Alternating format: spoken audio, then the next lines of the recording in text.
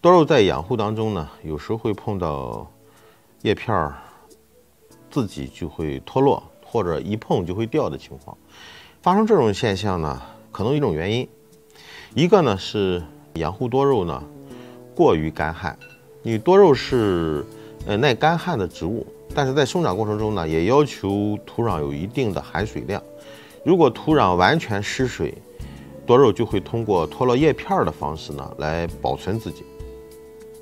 第二种情况呢，是水大烂根，根系受到伤害之后呢，多肉呢也会出现叶片脱落的问题。第三种情况呢，就是可能会发生了黑腐病，这种情况也有叶片脱落。但是发生黑腐病的叶片脱落呢，叶片往往有一些病变组织明显。出现这种情况下呢，我们要对发生黑腐病的这个叶片呢。要进行彻底的清理，这个远离我们养的多肉，防止它进行传染。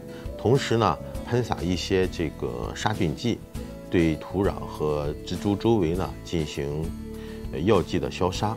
这是多肉植物叶片脱落的三种可能的情况。